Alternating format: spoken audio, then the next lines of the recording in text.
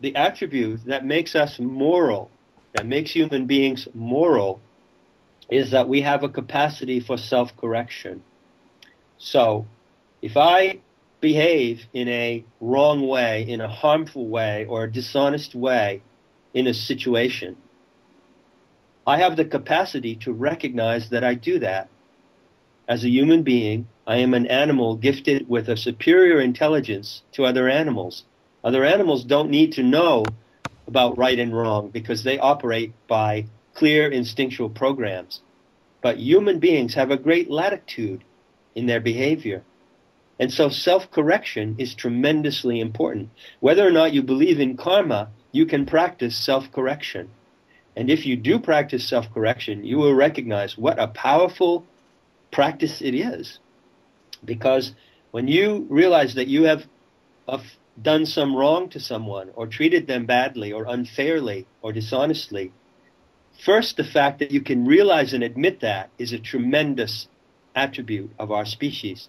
And secondly, that you could go to that person and ask to make amends and correct yourself in that situation is a tremendous attribute to our species. And this is pure and simply the basis of pagan and Gnostic morality self correction. What, what I'm kind of meant to say is this is kind of a, a, a, little bit of a glimmer of light that I'm seeing in the world as far as people actually starting to uh, uh, wake up and take to, to start to own their own actions and their their own decisions uh, instead of uh, laying it all at the feet of the church. Just go uh, say ten Hail Marys and uh, walk away a free man. Yeah, well, that of course, confession was one of the greatest cons of all time, and uh, it earned a fortune for the church. It paid off for everyone. It earned a fortune for the church it allowed the perpetrators to turn around and go repeat their ills and their evils over and over again because they knew they would be uh, forgiven for them in confession. So no wonder that uh, you know the mafia are Catholics. it works perfectly for both sides, you know. I I have a question. Um, not to go too off topic, but um, do you do you find any connections between um, the Gnostics and early Druidism? You mean the, the Druids? Early Druids? Yes. Oh, sure. The Druids were Gnostics, you know, and the Gnostics were Druids. I mean, it's almost the same. Uh, it's just a general term, you know. Gnostic is not something. It's not a label of a very narrow and specific definition. It means a shaman, shaman, seer, someone who knows the deeper things the deeper secrets of reality. I point out in my book that in Hypatia's time uh, in Alexandria, there was actually a, a kind of a study group who were dedicated to uh, the lore of the Druids. They may think this is pretty wild because uh, Druids come from the British Isles, and that's a long way from Alexandria in Egypt, isn't it? But nevertheless, uh, Druids certainly traveled to Alexandria. They were great astronomers, as were the Egyptians. A Druid from the British Isles would have been able to uh, discuss astronomy and the planets and the cycles of the planets and the cycles of the Earth with an Egyptian uh, astronomer in a temple in uh, in Luxor or in Memphis. Uh, this was typical of the university system of knowledge sharing or open source spirituality in the mysteries. So there's no question that uh, the Druids were part of this network. They remained Druids in their in their British character or their Irish or Scottish character because in each place where a cell of the mystery schools was established, it rooted itself very closely to the regional characteristics of that area. So Druidism is a Gnostic world, is a Gnostic spiritual practice that has the regional characteristics of the British Isles and Wales and Scotland and Ireland, where it emerged. But when you go down to the fundamental principles, Druids would have seen eye to eye with Gnostics from Alexandria. And in fact, they did have uh, direct contact uh, with each other. This is known. The reason why I brought that up was because in in Spain, um, not too far from where you are in uh, Basque Country, it's always said that their um, their language is made up of uh, Gaelic and Spanish, Mm-hmm. and that the the Druids did spend a lot of time there. That's why I brought that up because I was wondering if they ever. Um, Well, I'll tell you, there is a uh, dolmen that's I call the secret dolmen, and there's a picture of me sitting in it on uh, metahistory.org. If you go to the homepage and then you click on uh, site author, you'll see me sitting in this dolmen. I call it the secret dolmen. It's at a place called Punta de Grazia. I was shown this dolmen a few years ago. It's not on any map. Uh, it's uh, hasn't been um, uh, plotted yet. It's identical with the Druidic dolmens that I have seen in Ireland and Scotland. There's absolutely no question. It's the same technology, and it's perfectly aligned to the sun, to the uh, setting of the sun at the winter solstice, as many Druidic monuments were. so the Druids traveled all around. You know, they were polylinguists, polymaths. They did not have a written language of their own, but they spoke other languages a Druid would typically speak five or six other languages. Uh, again, when we go into the history of the mystery schools and pre Christian Europe, we find that there was a tremendous network of uh, uh, close organization and cooperation between the spiritual teachers of that period, which was all destroyed intentionally. completely. So the um, the other question I was gonna ask you, how can we make this connection to this um, sp- spirit that we call the the Earth spirit, the uh, Sophia spirit? Right, How can people make a connection? right. Very good question. Uh, I use the like to pronounce this word Sophia because Sophia is generally what you call a woman's name, and Sophia kind of distinguishes it as being a little different. Sophia is a Greek word that means uh, wisdom. So the word philosophy means philo Sophia, means a love of wisdom. And in my book, Not in His Image, I show that the entire Gnostic movement of the mystery schools of ancient Europe was focused on a particular myth. Technically, we would call this a directive myth. Uh, a directive myth is the myth that directs or guides a group of people or a culture.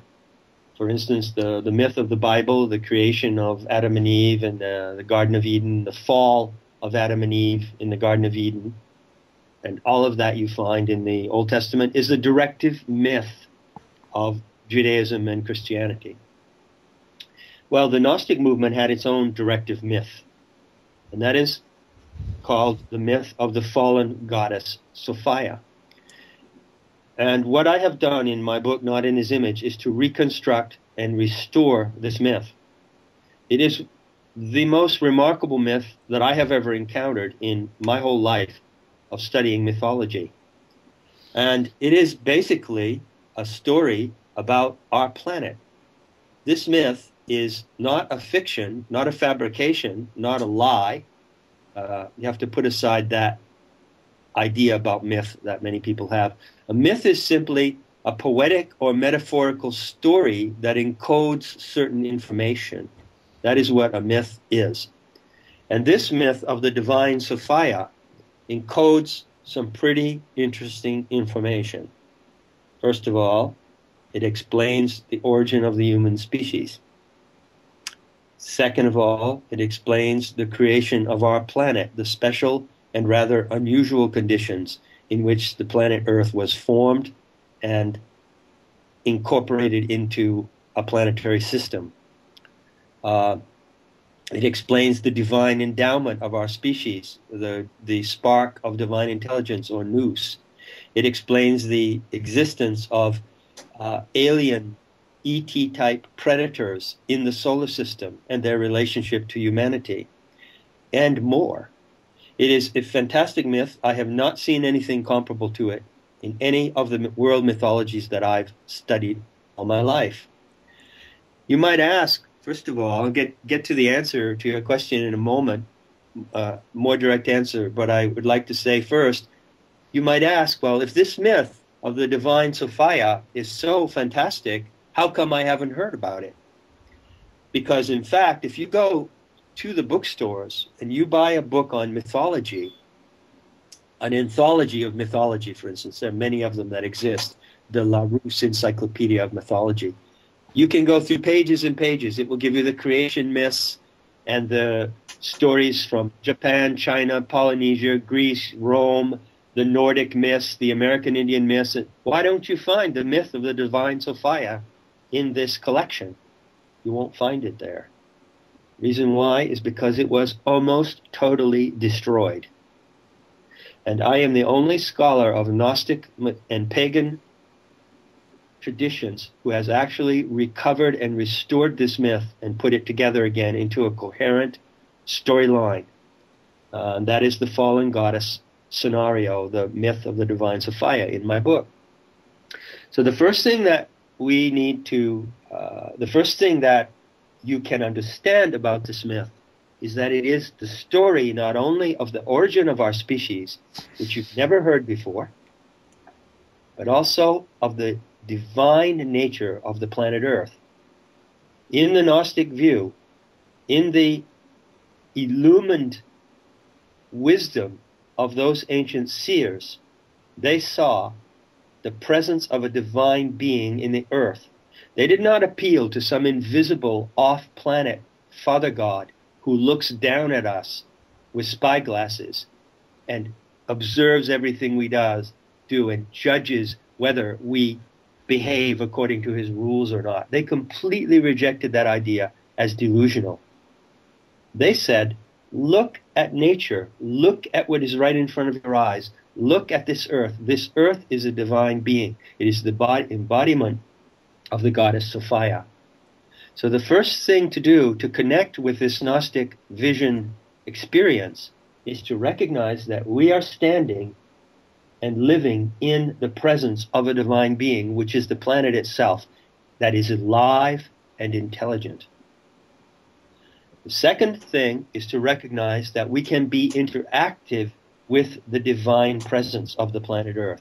We can actually interact and communicate with it consciously, as Gnostics did. In order to bring ourselves to this fantastic possibility of experience, the first step is to know the story, to know the myth. I pointed out in several talks that I've given that when you love someone, think of it as your mother, your brother, your child, your wife, your girlfriend, your boyfriend. When you love another human being profoundly, you know their story of their life.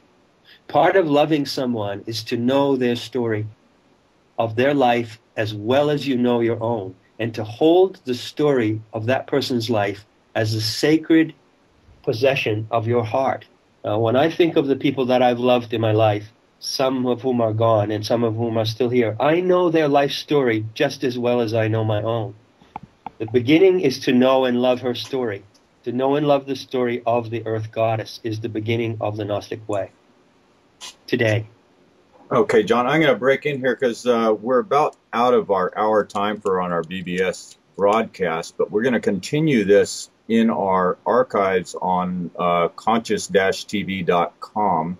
So I just want to remind everybody that condemnation without investigation is the height of ignorance. And join us for the rest of this amazing interview on our website. Hope you all make it there. Ramon? Thank you very much. And once again, the website is www.conscious-tv.com.